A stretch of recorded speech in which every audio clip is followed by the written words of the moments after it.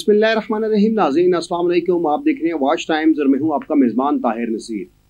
नाजीन, आज दोबारा बात करेंगे सरमाकारी के नाम पर शहरीों से पैसे बटोरने वाली कंपनियों के मतलब यानी कि आल पाकिस्तान प्रोजेक्ट जिसके मालिक आदम अमीन चौधरी हैं,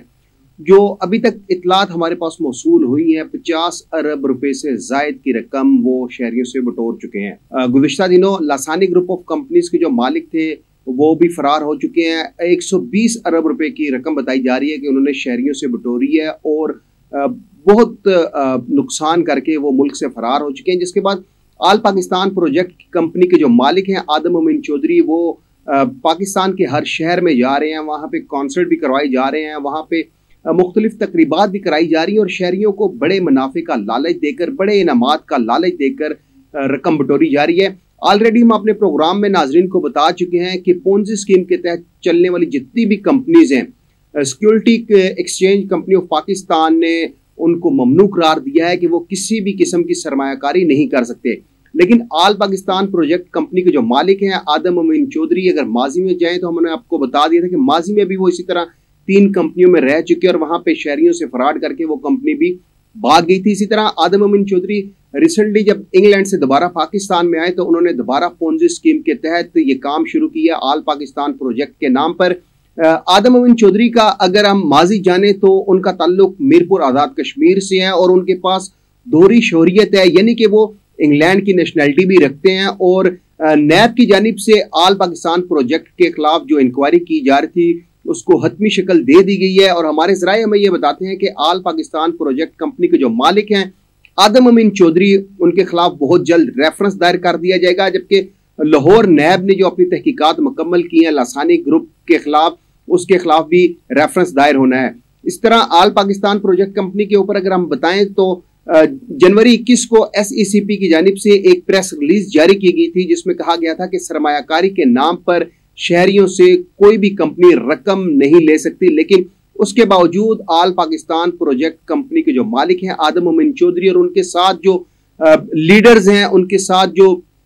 दीगर जो कारकुनान हैं, वो अभी तक 50 अरब रुपए से जायद की रकम इकट्ठी कर चुके हैं। नैब की तहकीकत में अपने नाजरन को बता चुका हूँ, हतमी मराहल में दाखिल हो चुकी हैं और बहुत जल्द आज की जो इतला थी हमारे पास के नैब की जानब से उनके दफातर में छापे भी मारे गए हैं, लेकिन वो दफातर बंद करके वहाँ से फरार हो चुके हैं। जिस तरह माजी में कई कंपनियाँ शहरियों के साथ फ्रॉड करके भाग चुकी हैं वो जो मालकान थे उन कंपनियों के, क्योंकि उनके पास ड्यूल नेशनलिटी थी, वो बाहर भाग चुके हैं। इसी तरह आल पाकिस्तान प्रोजेक्ट कंपनी के जो मालिक हैं, वो भी अनकरीब पाकिस्तान से रफू चक्कर हो जाएँगे। लेकिन नैब के जराए हमें यह बताते हैं कि उनका नाम भी ई e में डालने के लिए इकदाम शुरू कर दिए गए हैं। और उनके जो अकाउंट्स हैं, उनको भी फ्रीज करने के लिए स्टेट बैंक ऑफ़ पाकिस्तान को लेटर लिख दिया गया है। अब देखना यह है कि क्या नैब का इदारा जो हरकत में आया है, इसको हतमी शक्ल दे देगा। क्या नैब की जानब से आल पाकिस्तान प्रोजेक्ट के खिलाफ रेफरेंस दायर किया जाएगा? क्योंकि बहुत से ऐसे शहरी हैं जिनको बड़े मुनाफे का लालच देकर उनसे रकम इकट्ठी की जा रही है। सात फ़ीसद से बाईस फ़ीसद की शरह बताई जा रही है कि अगर कोई इन्वेस्टमेंट करता है तो उसको इतनी रकम वापस की जाएगी। लेकिन जिस तरह वो लोगों के साथ फ्रॉड कर रहे हैं, क्योंकि कई शहरी तो अभी बता रहे हैं, उनको मुनाफा मिल रहा था, लेकिन वो बंद हो चुका है क्योंकि उनके खिलाफ नैब का इदारा हरकत में आ चुका है। जैसे मैं अपने नाजरन को बता चुका हूँ कि एस सी पी की जानब से भी शहरियों से अपील की गई है कि ऐसी कंपनीज़ में सरमाकारी मत करें, क्योंकि ये कंपनियाँ बड़े मुनाफे का लालच देती हैं, बड़े इनामत का लालच देती हैं और आल पाकिस्तान प्रोजेक्ट के हवाले से मैं अपने नाजरन को एक और बात भी बताऊँ कि वो एक स्टाम्प पेपर भी लिख के देते हैं कि उनकी गैर कानूनी जो हाउसिंग सोसाइटी है, अब्दुल्ला सिटी, उसमें उनके शेयर्स हैं लेकिन हमारे जराए हमें ये बताते हैं कि उनके पास 30 से 40 प्लाट हैं अब्दुल्ला सिटी जो गैर कानूनी हाउसिंग सोसाइटी है और वहाँ पे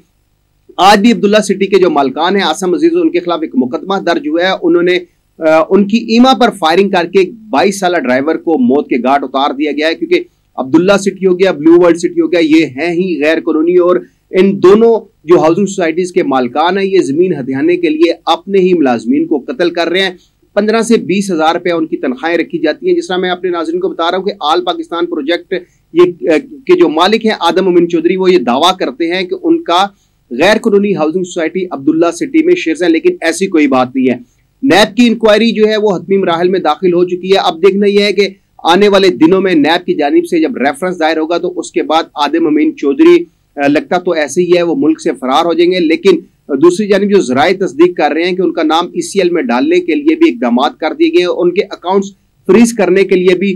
स्टेट बैंक ऑफ़ पाकिस्तान को मरासला जारी कर दिया गया है। अगर तो अभी से नैब इनके खिलाफ रेफरेंस दायर कर देता है आदम अमीन चौधरी के खिलाफ और दीगर जो उनके करता धरता है उनके खिलाफ तो बहुत जल्द जो शहरियों की डूबी हुई रकम है वो उनको वापस मिल जाएगी। लेकिन देखते हैं कि ऊँट किस करवट बैठता है, क्या वाकई ही नैब का जो इदारा है वो ईमानदारी से, दयानतदारी से आदम मोमिन चौधरी के खिलाफ रेफरेंस दायर करता है या उसको इसी तरह खुली छूट दे दी जाएगी ताकि वो शहरियों को इसी तरह चूना लगाता रहे। अगले प्रोग्राम तक के लिए अपने मेजबान ताहिर नसीर को इजाज़त दीजिए। अल्लाह हाफिज़।